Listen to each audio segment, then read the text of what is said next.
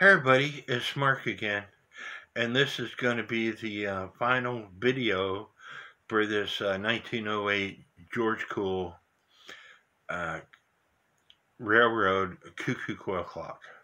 I will give you a heads up that there are still some issues with it, and we'll discuss those issues later, but uh, this video presentation is getting long and I want to put it out and I got the clock hanging on the wall. It is running, um, but it, it, it's not the way I want it to be. So uh, later on, and when I get the time, I will uh, continue messing around with it and try to solve the issues. Uh, but I want you to kick back, relax, grab something to drink, grab something to eat, grab a cigarette, and let's learn things. Because that's what this is all about, you know, uh, is learning.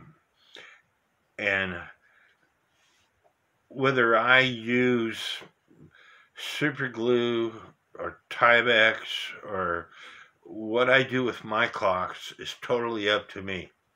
I've said in videos prior that there's only one person I got to please, and that's me.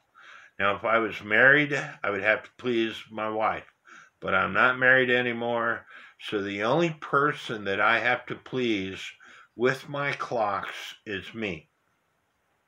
Unless I chose to sell a clock, and then I would have to please the buyer. And so if I was to sell an antique clock it's wiser to put leather material versus Tyvek material. It's wiser if you can afford it to put bone hands. Try to make it original as possible. But, and I did that with the clock that I recently sold. Um, I didn't put leather uh, bellows in it, uh, but the clock wasn't a hundred years old. It was made in the fifties, and it will last that person a lifetime and probably her children's lifetime. Um, so uh, if uh, you know some people complain, well, you use super glue, it's harder for the next person to take it off. You will see in this video that I use super glue. I put the um, uh, quail bellow, I redid the quail bellow because the leather was extremely hard and tough. But I I I used Tyvek, covered the quail bellow. I didn't like it. I took it off. Didn't take me any time whatsoever to take it off. So, uh, and super glue adheres just like that. And that's why I like using it. And so, uh, it'll last for 50, 60, 70 years if properly taken care of. And 50, 60, 70 years from now, the technology that they might have out, there probably won't be a cow left or anything that has leather in it. So, uh, Tyvek material will probably be the thing that you'll have to use. Anyway, I'll get off my soapbox. I hope y'all enjoy this video. When you have a question about a trademark, you go to Mikrolisk. They're the best trademark there is. Here I typed in KCC, KCC in Diamond, George Cool and Company, Chicago Clocks, sorry, cuckoo clocks, clocks, import, Chicago, Illinois, USA. Possibly there was a trade relation with J. Berger and Son from Schonach, Germany.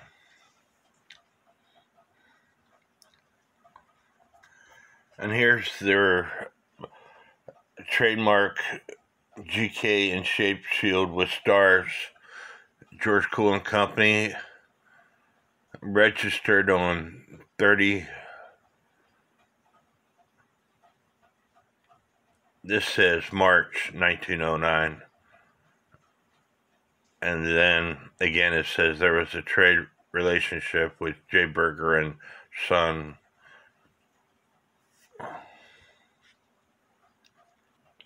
and here's their other trademark GK in shape shield with stars and Christmas tree. Again, this says it was registered on 30 March 1909, but the uh, other paperwork from the um, NAWCC says it was January 1909 that it was registered. And here's another one. Uh, in coat of arms with branch GK. This one was registered in January 1909, according to this uh, web page. And it, again, it says cuckoo clocks, clocks, imported German black forest clocks, Chicago, Illinois, USA. There is a strong resemblance of the figurative mark to Joseph Berger and Company from Schonach, Germany, registered January 1909.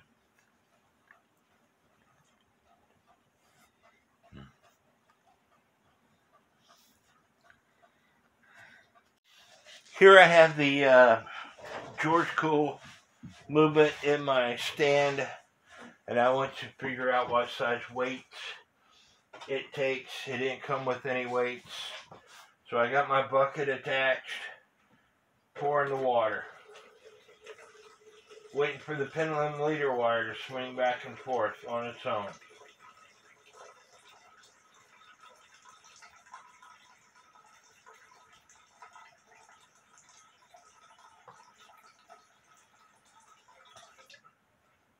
And that is about did it.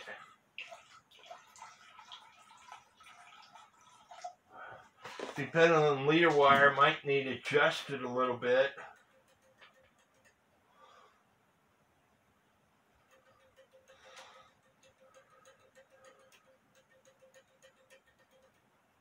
There it's where it needs to be. I need to go weigh this bucket.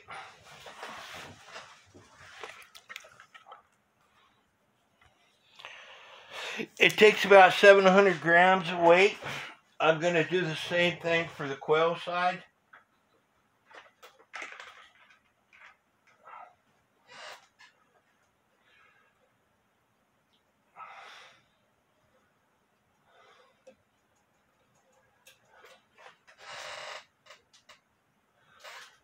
Tripping the quail side.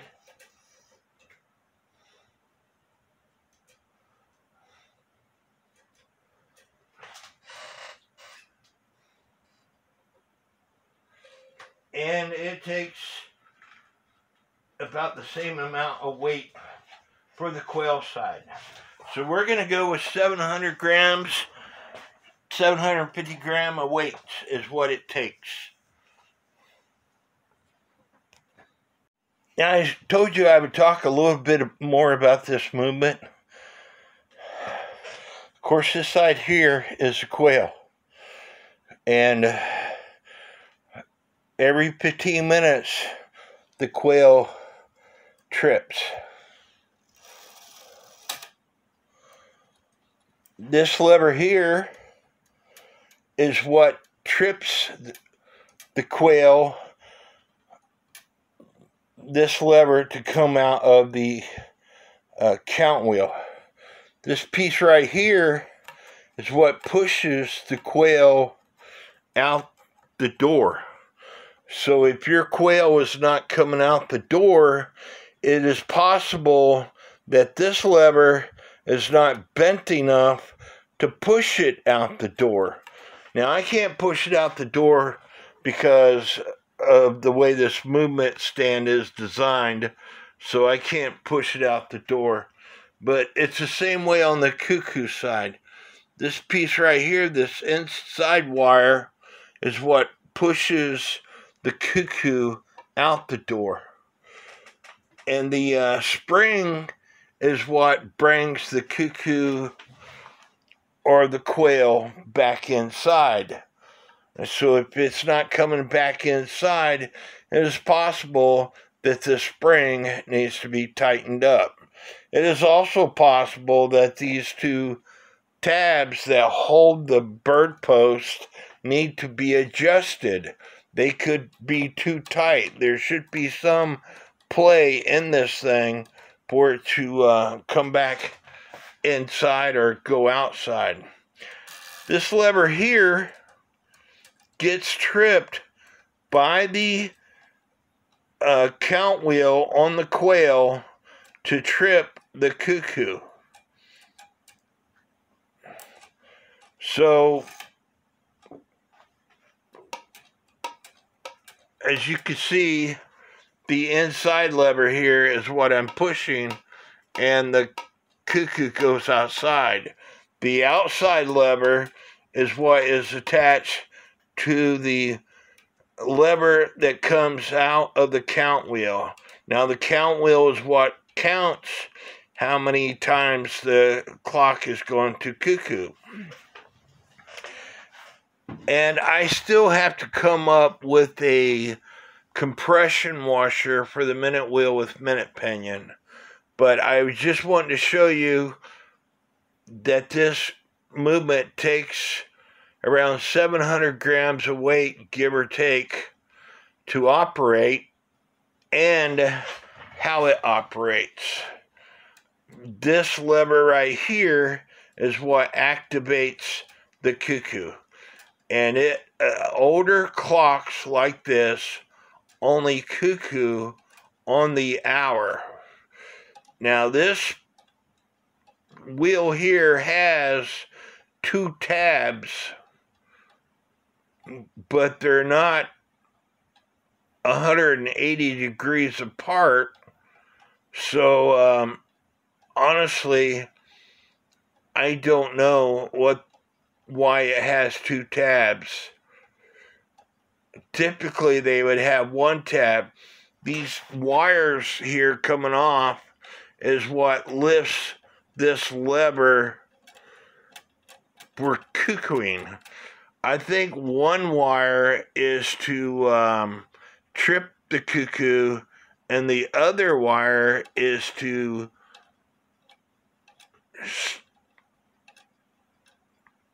uh, prevent the cuckoo from coming back up.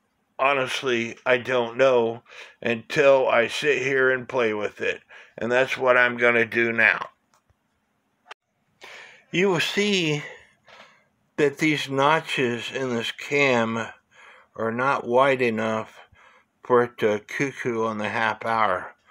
So it only cuckoos on the hour. The reason why it has two pins on this thing is because this wheel is big enough. It plays, it cuckoos, uh, sorry, it quail one time on the quarter of an hour, two times on the half hour, three times on the three quarters of an hour, and then four times on the hour. And when I activate this thing, you'll be able to see what I'm talking about. Hopefully. I'm sorry, I need to hire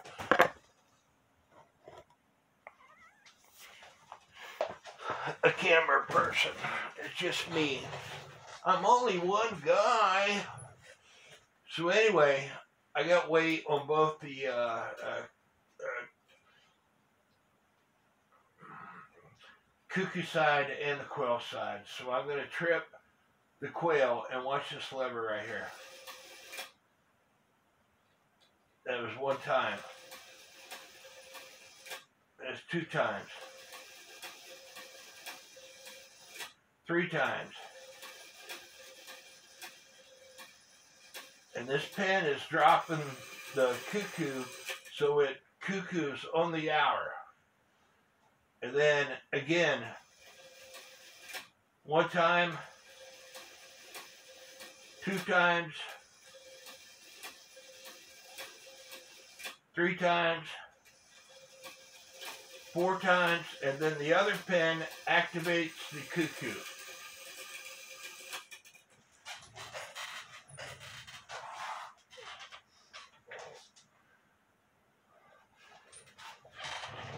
Know if you saw that or not, but the cuckoo bird is bouncing in and out of the door.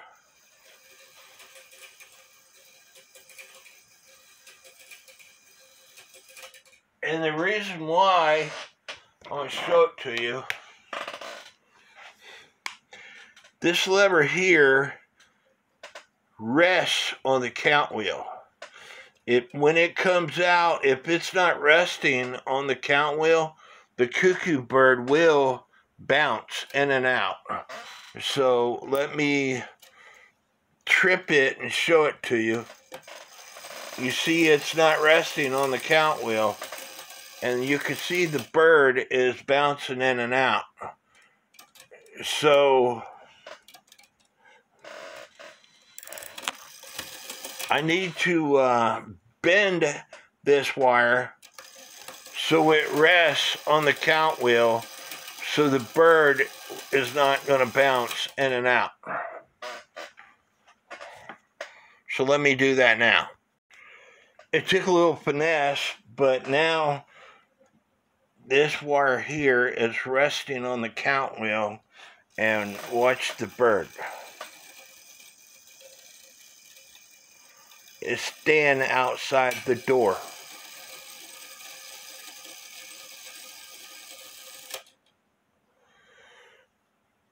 And he comes back inside the door.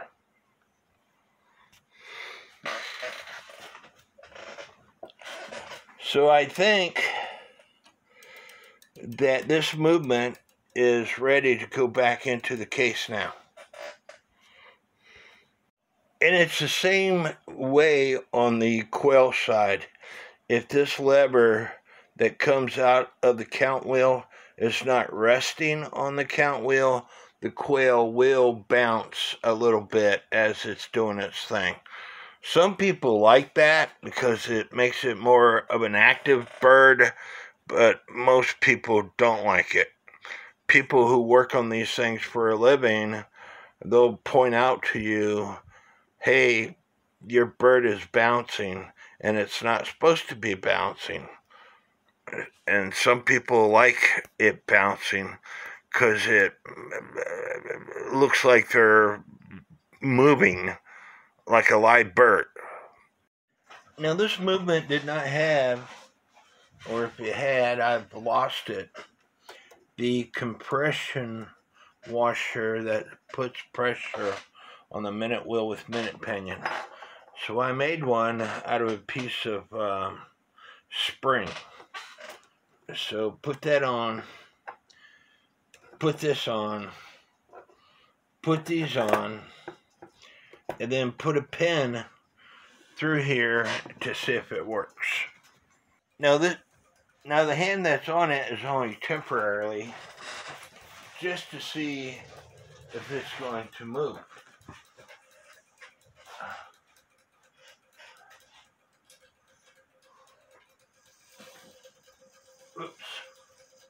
And I need to tighten my stand down some more.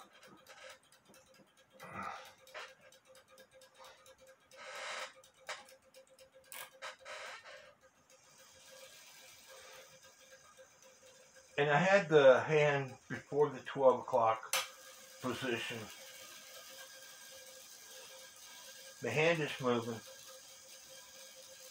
As you can see, it's moving. I don't have a pendulum on it.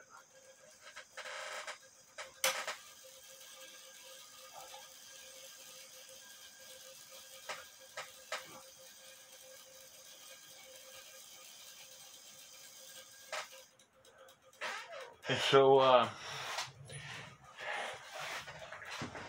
now it's time to put this movement in the clock because my compression washer that I put on it is working. And I meant to tell you, yeah, um, when I was repairing the bellows, one way to check to make sure there's no um, parts that are broken is to blow into the hole where the air comes out and then while you're blowing feel around with your fingers to see if there's any air coming out such as this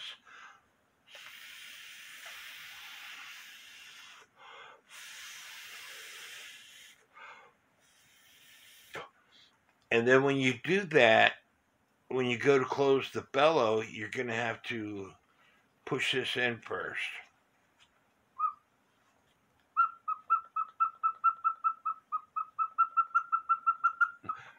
Again, I don't have a weight for this, so I'm going to use a nickel. The nickel seems to be about the right weight for it. So um, that's what I'm going to use. I, I didn't really say the truth. I've I've got weights. There, you know, I got four bags of bellow materials, and I'm sure I can find a weight in there. So that's what I'm going to use instead of a nickel. But if you don't have extra parts, a nickel works well. It's not the best sounding quail, but it does sound.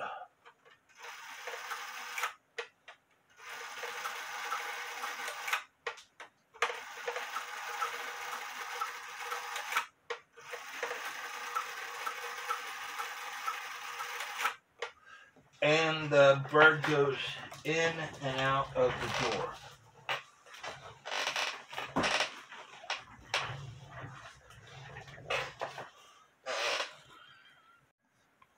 What I love about cuckoo clocks is it's never a dull moment.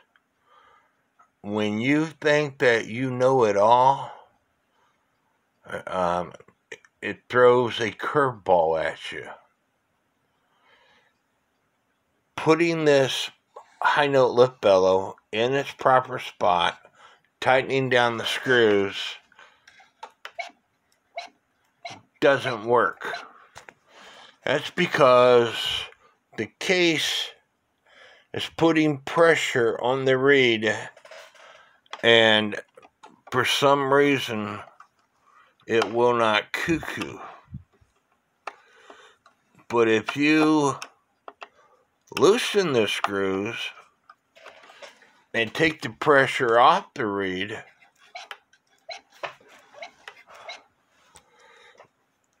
yeah.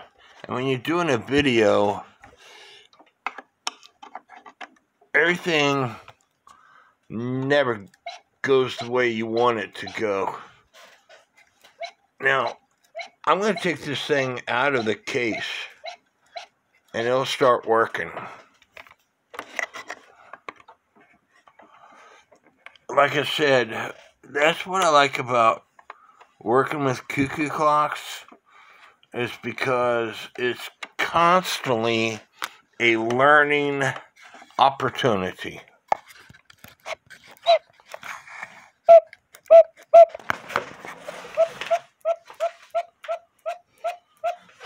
Out of the case, it starts working. In the case, it doesn't work. And uh,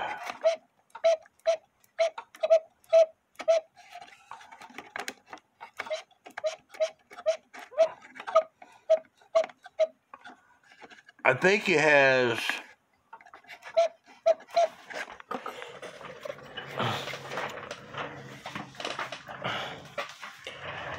This is original bellow for this clock.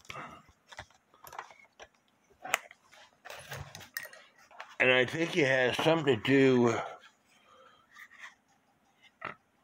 I can put this video where y'all can see what I'm doing. Sorry. If I go like this.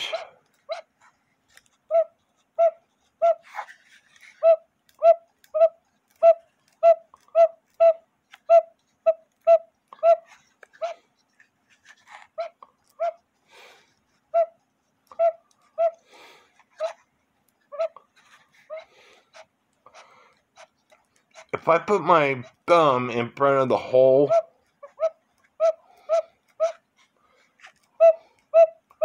it doesn't cuckoo. So I think it has something to do with where the hole is in the case.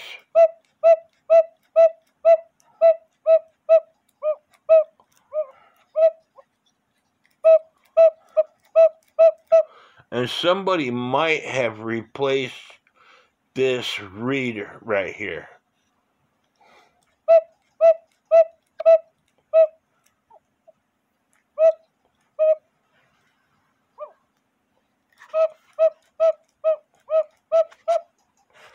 Never a dull moment. Using my Dremel, I bend some of this reed out so hopefully when I put it in the case, nothing uh, hits it. And hopefully you could see this, but when I put this in the original nail hole,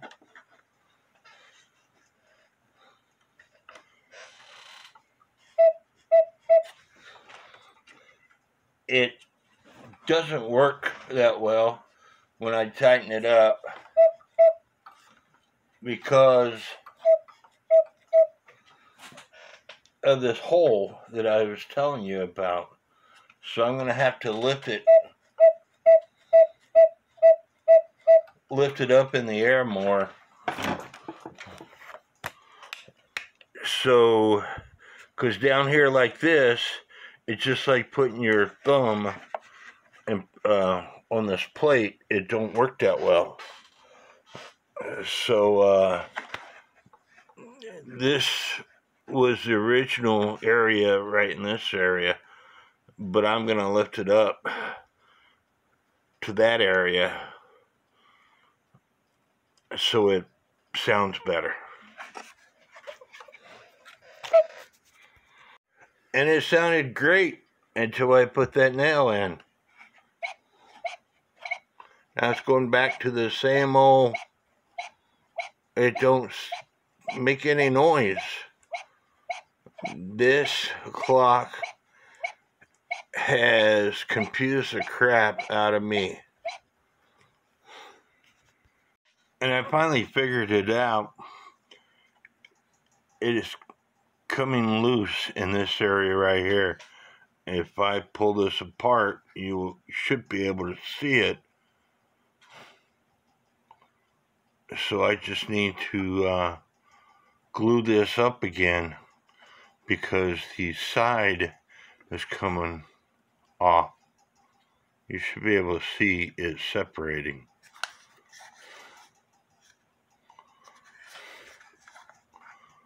And that's the only place it's separating. This entire front piece or I guess we can call it the front piece, is separating. So gluing it up should take care of it. This leather that was on it reminds me of that stuff that I bought at Hobby Lobby. It's way too thick. I don't know how it worked in the first place. But here's the low note bellow.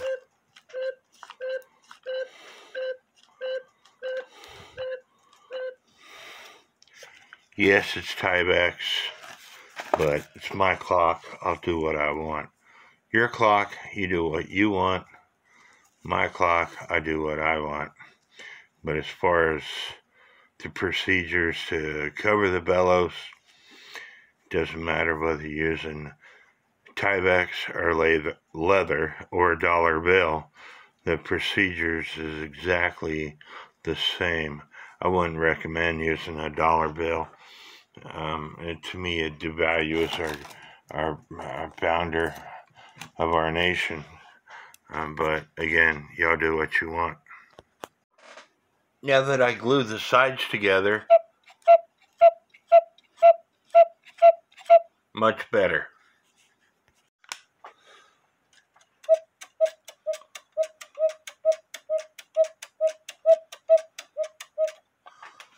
Now that that problem is resolved, on to the low note bellow. Now the low note bellow wire, I've misplaced it. And this is a standard uh, length that you purchase from Timesavers. But watch what happens when the bellow is activated. You see that? And so uh, the wire is not long enough. And I don't want to bend the crap out of this lever that's coming off the movement. So I'm going to make a wire. And I have a video on how to make that wire. Yeah, I got the cuckoos working, but this quail does not sound right to me.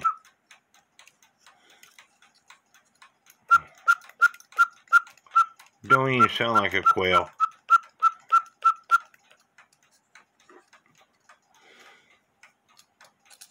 I think there's something wrong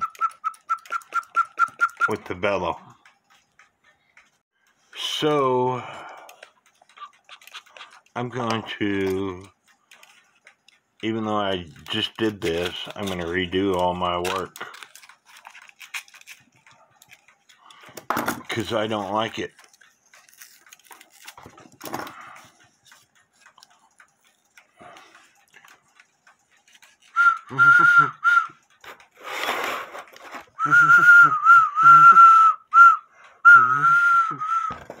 now that sounds like a quail. And so there's something wrong with it's getting air. Maybe it's like the cuckoo and the case itself is broken.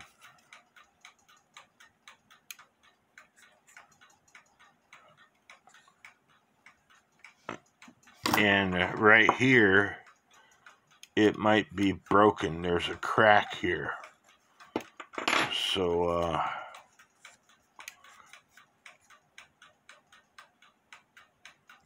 Got to figure it out. I think this sounds better myself.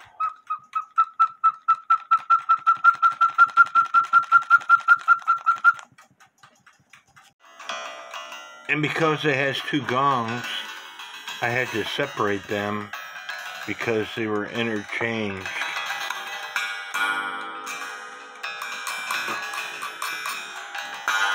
They were connected together, so I had to take this apart, separate the gongs, and put them back together.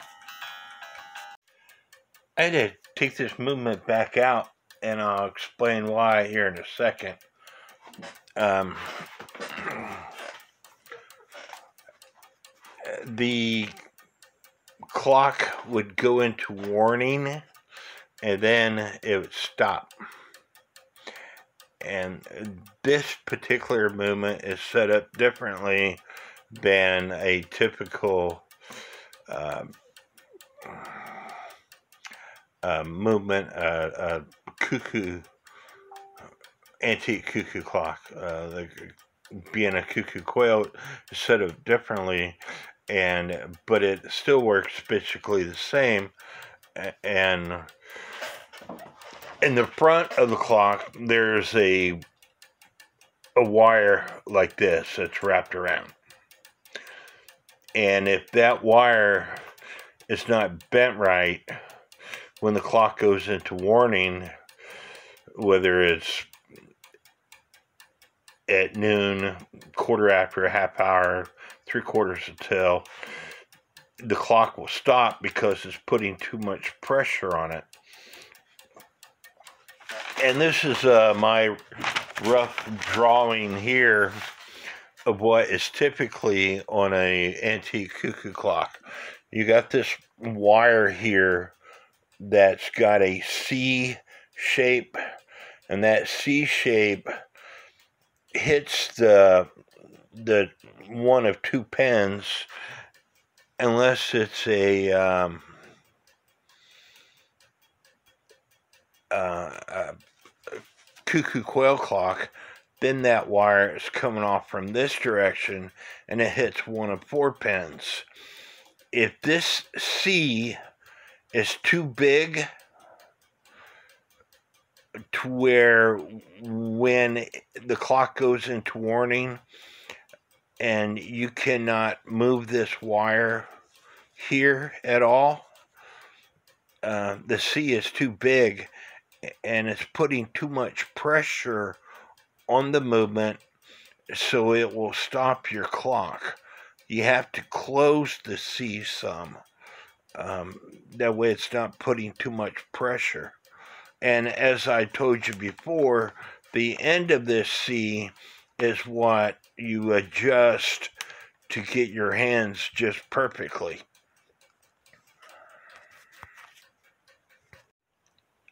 I, I can't put this in my movement stand as the gongs are too wide for my stand. But this is the lever right here that if it's closed too much, then at 15 minutes till the hour or whenever the clock goes into warning, whether it's on the quarter hour, hour, half hour, three quarters hour, whenever, the clock will stop because this is putting too much pressure on everything else. So I had to open this in order for it to uh, to be able to move the hands. Closing it when you go to turn the hands, they get tight in this area right here. You could force it, but you don't want to force it so I had to open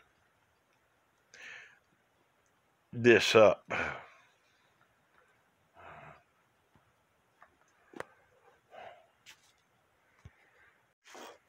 I'm still not too happy with this uh, quail bellow. And I thought about taking this off because I was thinking maybe the air it wasn't getting enough air and putting this uh, topper on. And then I discovered there's not enough weight on this thing. If I was to add this weight, watch what happens.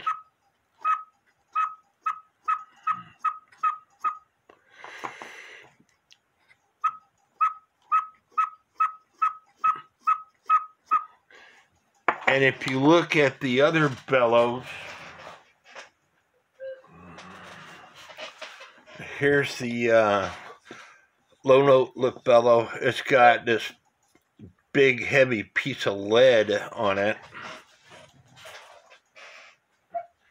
And here's the high note bellow, another heavy piece of lead on it. And so, uh, It might not look the prettiest. I was going to try to cut this in half, but I broke a couple blades, so using my Dremel. So I'm just going to glue this washer on top of here.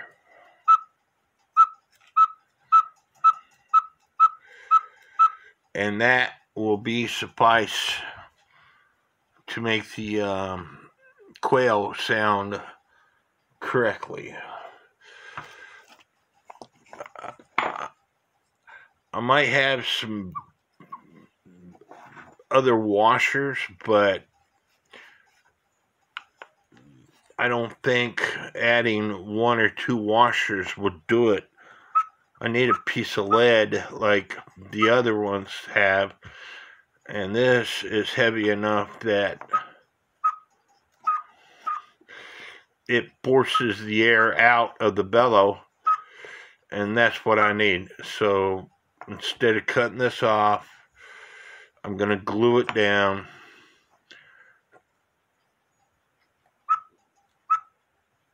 Because this thing is thick and it would take a lot of work to cut this thing in half. Now, if I had a cutting torch, that would be the ideal thing. But I don't have a cutting torch, so I'm just going to glue the thing on. I do have a Sawzall, but I don't have a vise, and I'm not going to hold this thing and cut it with a Sawzall or a hand saw without a vise. I'll be cutting my fingers off.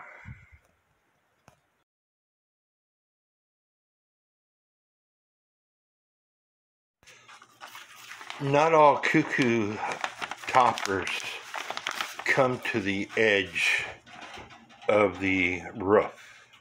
And this is a original picture from a 1908 ad on my clock. So I just want you to see that before I show you the clock.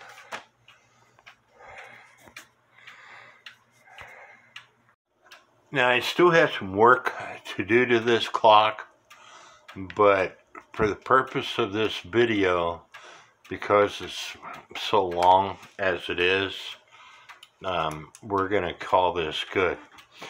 This is the 1908 George Cool Cuckoo Quail Clock. Now I'm going to tell you up front that the quail is not working properly. I still think that the um, the bellow itself is not wide enough, and um, for me taking the movement out, putting it in, taking it out, putting it in, the cuckoo is not doing the cuckoo.